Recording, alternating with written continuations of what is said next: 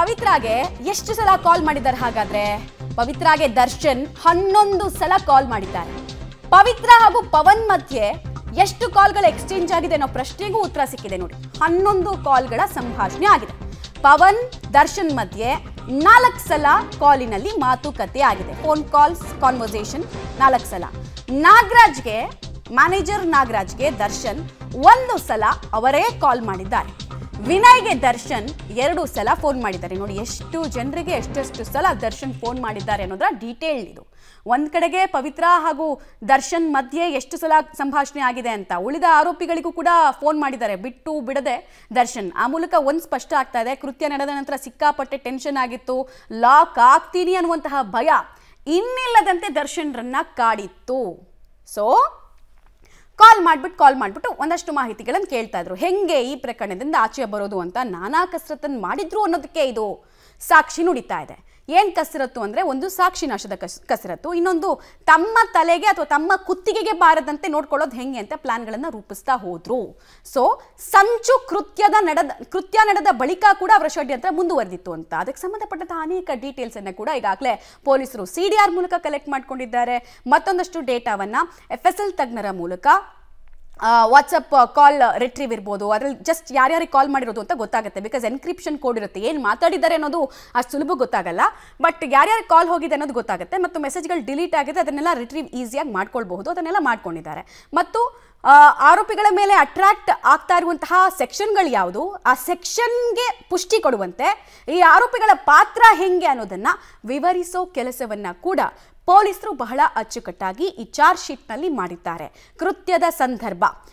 June ಎಂಟನೇ ತಾರೀಕು ಇರ್ಬೋದು, ಜೂನ್ ಏಳನೇ ತಾರೀಕು, ಕೃತ್ಯ ನಡೆದ ನಂತರ ಒಂದು ಮೂರು ದಿನಗಳ ಕಾಲ ಯಾವ ಪ್ರಮಾಣದಲ್ಲಿ ಎವಿಡೆನ್ಸ್ಗಳನ್ನು ಕಲೆಕ್ಟ್ ಮಾಡಿದ್ರು ಅನ್ನೋದು ಕೂಡ ಇದೆ. ಈಗ ಸ್ವಇಚ್ಛಾ ಹೇಳಿಕೆಯನ್ನು ನಾವು ಗಮನಿಸ್ತಾ ಇದ್ವಿ.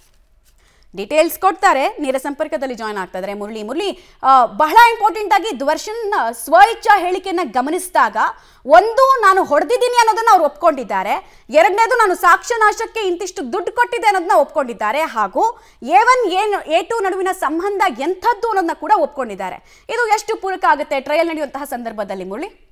ಖಂಡಿತವಾಗಿ ಮಮತಾ, ಇಡೀ ಪ್ರಕರಣದ ಹೋಲ್ ಅಂಡ್ ಸೋಲ್, ದರ್ಶನ್ ಅವರು ಮತ್ತು ಪವಿತ್ರ ಗೌಡ ಅನ್ನೋದು ಸ್ಪಷ್ಟವಾಗಿ ಗೊತ್ತಾಗ್ತಾ ಇರೋಂಥದ್ದು. ಯಾಕಂದರೆ ಪವಿತ್ರ ಗೌಡ ಅವರ ಏನು ಇನ್ವಾಲ್ವ್ಮೆಂಟ್ ಯಾವ ರೀತಿ ಇತ್ತು ಅಂದ್ರೆ ಆತನ ಮೇಲೆ ಹಲ್ಲೆ ಮಾಡಿ, ಹಲ್ಲೆ ಮಾಡಿದ ನಂತರ ಆತ ಸಾವು ಸಾವನ್ನಪ್ಪೋದಕ್ಕಿಂತ ಮುಂಚಿತವಾಗಿ ಪವಿತ್ರ ಗೌಡ ಅವರು ಅಲ್ಲಿಂದ ಹೊರಟು ಹೋಗ್ತಾರೆ ಅಂದರೆ ಪಟ್ಟಣಗೆರೆಯ ಶೆಡ್ ಏನಿತ್ತು, ಹತ್ಯೆ ನಡೆದಂಥ ಸ್ಥಳ ಏನಿತ್ತು, ಅಲ್ಲಿಂದ ಅವರು ಹೊರಟು ಹೋಗ್ತಾರೆ ಆದರೆ ದರ್ಶನ್ ಹಲ್ಲೆ ಮಾಡಿದ, ಅಂದ್ರೆ ಕಿಡ್ನಾಪ್ ಮಾಡಿದಿಂದ ಹಿಡಿದು ಆತನನ್ನ ಪಟ್ಟಣಗೆರೆ ಶೆಡ್ನಲ್ಲಿ ಹಲ್ಲೆ ಮಾಡ್ತಾರೆ. ಆತನ ಸಾವನ್ನಪ್ತಾನೆ ಸಾವನ್ನಪ್ಪದ ಬಳಿಕ ಯಾವ ರೀತಿಯಲ್ಲಿ ಶವವನ್ನು ವಿಲೇವಾರಿ ಮಾಡಬೇಕು. ಜೊತೆಗೆ ಶವವನ್ನು ವಿಲೇವರಿ ಮಾಡಿದಂಥ ಆರೋಪಿಗಳಿಗೆ ಅಂದ್ರೆ ಅಮಾಯಕರು ಯಾರಿದ್ರು ಅಂದ್ರೆ ಶರಣಾಗತರಾಗ್ತಕ್ಕಂಥ ಅಮಾಯಕರು ಏನಿದ್ರು ಅವ್ರಿಗೂ ಕೂಡ ಮೂವತ್ತು ಲಕ್ಷ ಹಣವನ್ನು ಕೂಡ ಫಂಡಿಂಗನ್ನು ಮಾಡಿರುವಂಥದ್ದು ಮತ್ತು ಹೆಚ್ಚುವರಿಯಾಗಿ ಮೂವತ್ತೇಳು ಲಕ್ಷದ ನಲವತ್ತು ಸಾವಿರ ಹಣವನ್ನ ತನ್ನ ಮನೆಯಲ್ಲಿ ಇಟ್ಟಿದ್ರು. ಯಾಕಂದರೆ ಮುಂದಿನ ದಿನಗಳಲ್ಲಿ ಕಾನೂನು ಹೋರಾಟ ಜೊತೆಗೆ ಬೇರೆ ಬೇರೆ ರೀತಿಯಲ್ಲಿ ಅವರನ್ನು ಬಿಡಿಸ್ಕೊಂಡು ಬರೋದಕ್ಕೆ ಮತ್ತು ಅವರ ಕುಟುಂಬಕ್ಕೆ ಅಂದರೆ ನಾಲ್ಕು ಜನ ಏನು ಆರೋಪಿಗಳು ಶರಣಾಗಿದ್ರು.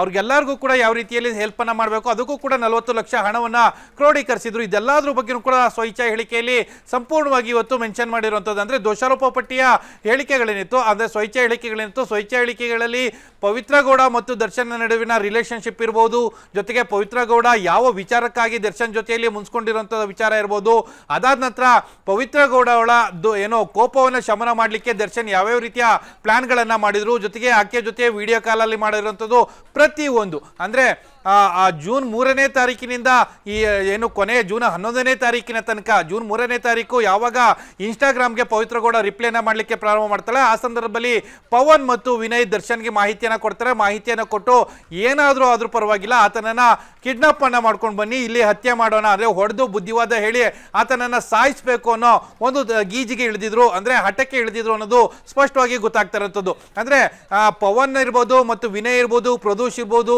ಜೊತೆಗೆ ಇಡೀ ಪ್ರಕರಣದಲ್ಲಿ ಬೇರೆ ಬೇರೆ ಆರೋಪಿಗಳನ್ನ ಯಾವ್ಯಾವ ರೀತಿಯಲ್ಲಿ ದುರ್ಬಳಕೆನ ಮಾಡ್ಕೊಂಡಿದ್ದಾರೆ ಜೊತೆಗೆ ಅವರ ಏನು ಏನೋ ಅಭಿಮಾನ ಅಂಧಾಭಿಮಾನ ಏನಿತ್ತು ಅಂಧಾಭಿಮಾನವೂ ಕೂಡ ಯಾವ ರೀತಿಯಲ್ಲಿ ದುರ್ಬಳಕೆ ಆಗಿದೆ ಅನ್ನೋದು ದೋಷಾರೋಪ ಪಟ್ಟಿಯಲ್ಲಿ ಉಲ್ಲೇಖ ಆಗ್ತಾ ಇರೋಂಥದ್ದು. ಮಮತಾ.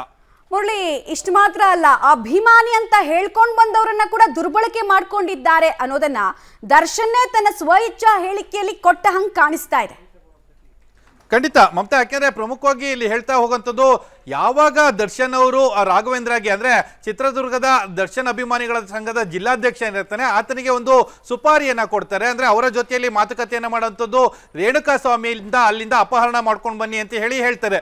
ಅಪಹರಣ ಯಾವಾಗ ಮಾಡ್ಕೊಂಡು ಬರ್ತಾರೆ? ಅಪಹರಣ ಮಾಡ್ಕೊಂಡು ಬಂದ ಬಳಿಕ ಆತ ಇಲ್ಲಿ ಹಲ್ಲೆ ಮಾಡ್ತಾರೆ. ಹಲ್ಲೆ ಮಾಡಿದ ಬಳಿಕ ಆತನ ಸಾವು ಸಂಭವಿಸುತ್ತೆ.